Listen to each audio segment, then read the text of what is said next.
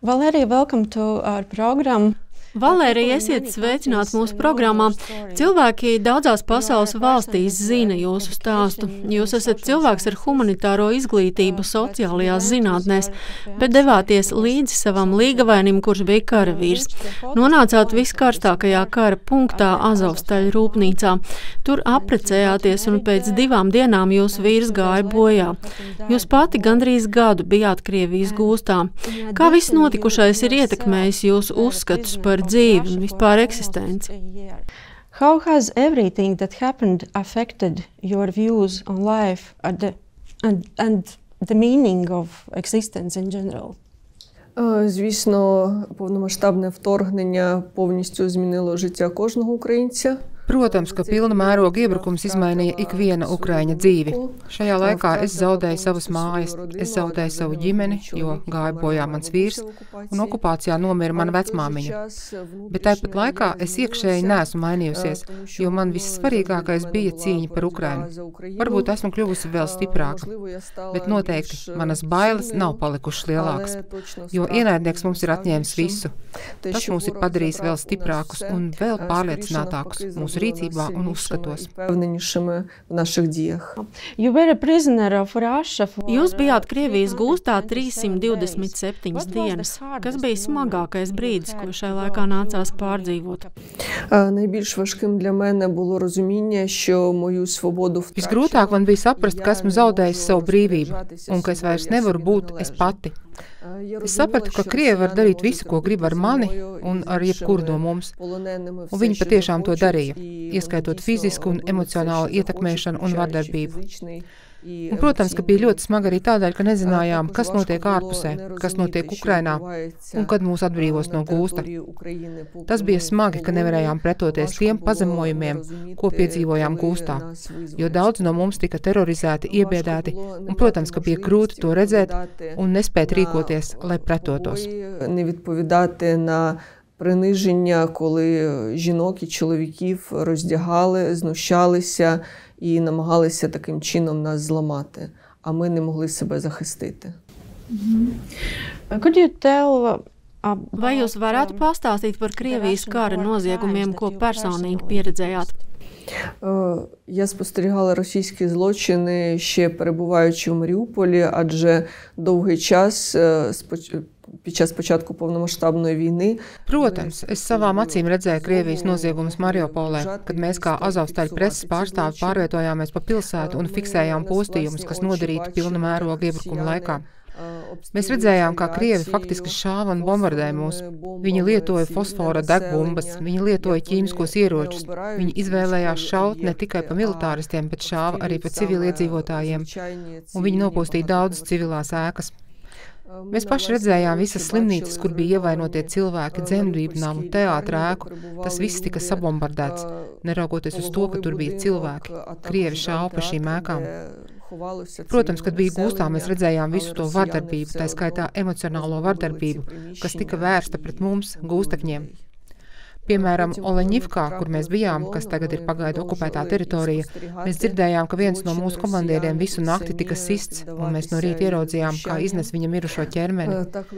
Mēs redzējām, ka daļu no azoviešiem izveda un nometināja barakās, un vēlāk krievi tās barakas sašāva, un mēs dzirdējām tos kliedzienus, jo cilvēki tika dzīvi sadedzināti. Ir daudz piemēru par krievu pastrādātajiem noziegumiem.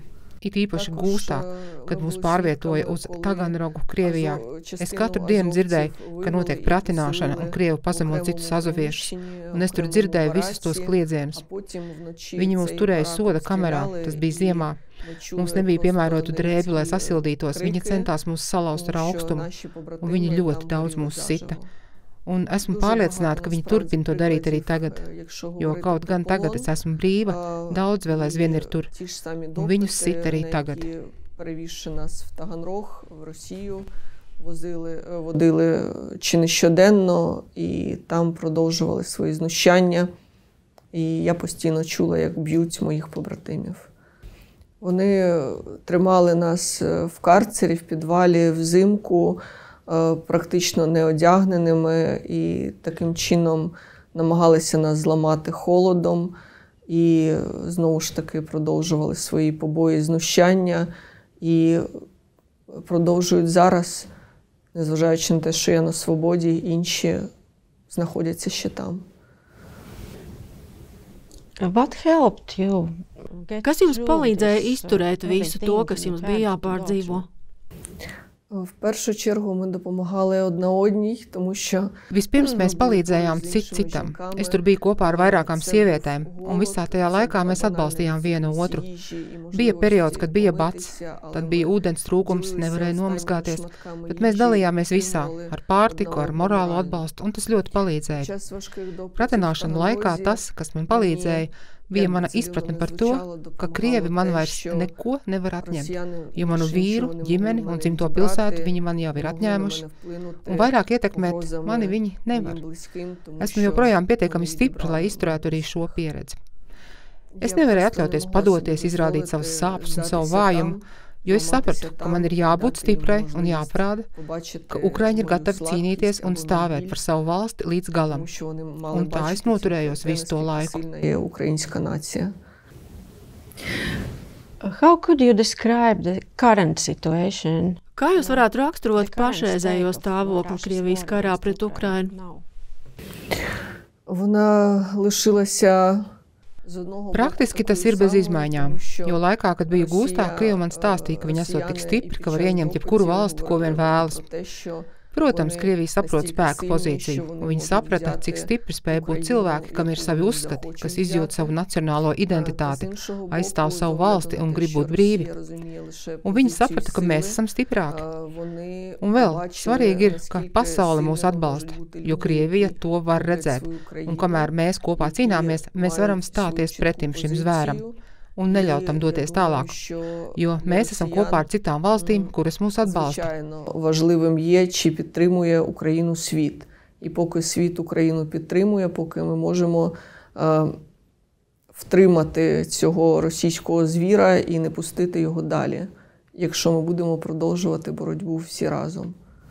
What do you think about, uh, Kā vērtējat rietumu atbalstu Ukrainai?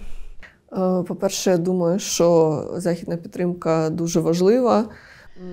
Vispirms, domāju, ka rietumu atbalsts mums ir ļoti nozīmīgs. Mēs gribam par to jums pateikties, par to, ka esat ar mums, ka palīdzat mums. Tomēr mēs vēlamies arī teikt, ka tas atbalsts, ko jūs dodat, ko pasaule mums dod, ir atbalsts arī demokrātiskajām vērtībām. Tas ir arī atbalsts pašām rietumvalstīm un to drošībai. Jo, ja mēs šo karu neapturēsim, tas varētu turpināties ļoti ilgu laiku, un Krievi varētu iet tālāk uz citām valstīm. Tādēļ, ka viņi no mūsu puses redzēs vājumu, tātad mums ir jācīnās pretī kopīgiem spēkiem. Un galvenā lieta, par ko mēs nebijām padomājuši, par pilnu mērogu iebrukumu. Mēs to negaidījām, un tas bija ārkārtīgi vērtīgi, ka Rietumvalstis mūs tūlīt pat atbalstīja, palīdzēja ar munīciju. Jo mums savā valstī nebija tādu resursu, un mēs šajā karā zaudējām visneaizsargātāko daļu, zaudējām cilvēkus, mūsu labākos vīrus un sievas. Viss, kas mums ir vajadzīgs, ir vienīgi jūsu atbalsts ar ieročiem un munīciju, kas mums palīdzēs cīnīties un pabeigt šo karu. Pat labāk šis ir tehnoloģija karš, un, lai tādā uzvarētu, mums ir vajadzīgas jaunās tehnoloģijas, novatoriski ieroči. Tā mēs varam cīnīties. Un, protams, ja rietumvalstis var šos jaunos ieročus mums palīdzēt dabūt, jo ik viens zina, ka uzvarēs tas, kam ir inovācijas, kam ir jaunie ieroči, ir patiešām ļoti svarīgi tos dabūt, lai ar rietumu atbalstu panāktu šo izrāvienu. Вже потрібен, нам потрібні новітні технології в озброєнні. І саме завдяки допомозі, підтримці світу, підтримці Заходу, ми зможемо здійснити цей прорив і закінчити цю війну перемогою. Тому ми чекаємо на допомогу. Вона нам потрібна. But uh, as we know, there are people who say that war should stop.